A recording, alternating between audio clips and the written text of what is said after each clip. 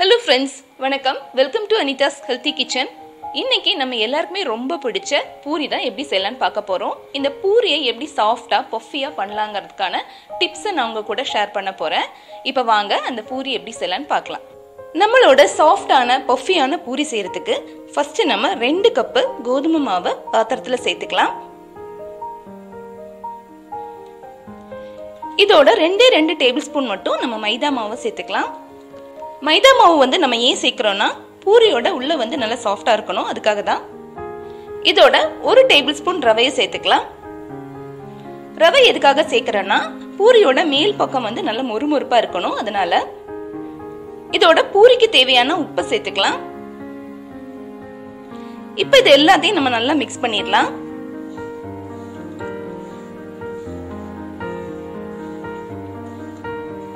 எல்லாத்தையும் நல்லா மிக்ஸ் பண்ணி எடுத்ததுக்கு அப்புறமா இதுல ஒரு டேபிள் ஸ்பூன் நம்ம குக்கிங் ஆயில சேர்த்துக்கலாம்.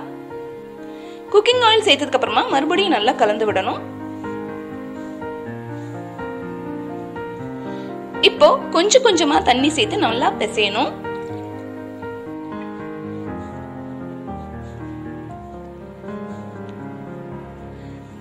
தண்ணி அதிகமாயிடுச்சுன்னா பூரி வந்து எண்ணெய் குடிக்கும். அதனால நம்ம கொஞ்சம் கொஞ்சமா தண்ணி சேர்த்து நல்லா பிசையலாம்.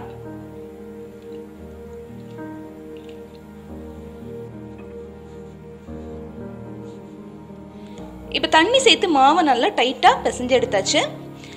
தண்ணி பார்த்தீங்கன்னா எனக்கு ஒரு கப்புக்கும் குறைவாக தான் தேவைப்பட்டது.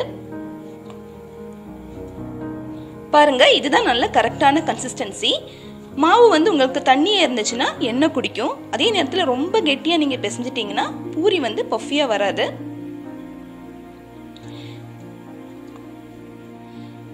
இந்த பூரி மாவை நம்ம பத்து நிமிஷம் நம்ம ரெஸ்ட்டில் வைக்கணும்.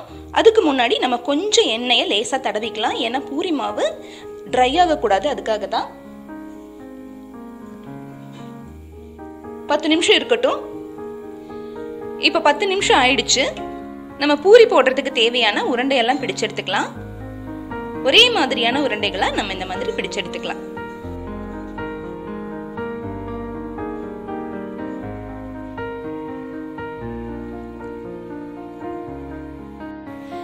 இப்போ உருண்டை எல்லாம் நம்ம பிடிச்செடுத்தாச்சு. அடுத்ததான் நம்ம பூரி எப்படி திரட்டலான்னு பார்க்கலாம்.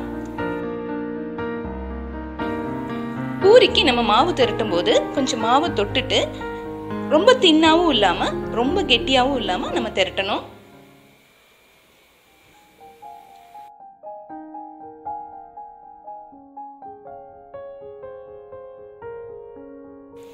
இப்போ இந்த மாதிரி திரட்டி எடுத்ததுக்கு அப்புறமா நம்ம இதை எண்ணெயில போட்டுடலாம். அடுத்ததான் நம்ம பூரி பொரிக்கிறதுக்கு தேவையான எண்ணெயை நம்ம சூடு பண்ணிக்கலாம். பூரிக்கு எண்ணெய் வைக்கும்போது இந்த மாதிரி கனமான கடாயா எடுத்துக்கணும். எண்ணெய் சூடு பண்ணும்போது பார்த்தீங்கன்னா தீயை வந்து மீடியம் ஃப்ளேம்லேயே வச்சிருக்கணும். ரொம்ப லோவாகவும் வைக்கக்கூடாது ரொம்ப ஹை ஃப்ளேம்லும் வைக்கக்கூடாது. இப்போ எண்ணெய் நல்லா சூடாயிடுச்சு நம்ம ஒவ்வொரு பூரியாக போட்டு எடுக்கலாம். பூரி போட்டதுக்கு அப்புறமா நம்ம கரண்டியால் இதை லைட்டாக இந்த மாதிரி ப்ரெஸ் பண்ணி விடணும். அப்போ தான் பூரி நல்லா உங்களுக்கு பொங்கி வரும். ஒரே சைடு இல்லாம ரெண்டு சைடும் மாத்தி மாத்தி நம்ம திருப்பி போட்டு எடுக்கணும்.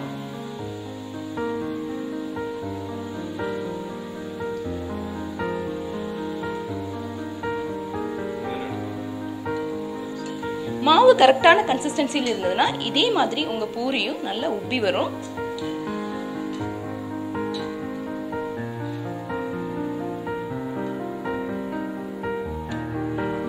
பாருங்க பூரி எவ்வளவு நல்லா பஃபியா வந்திருக்குன்னு.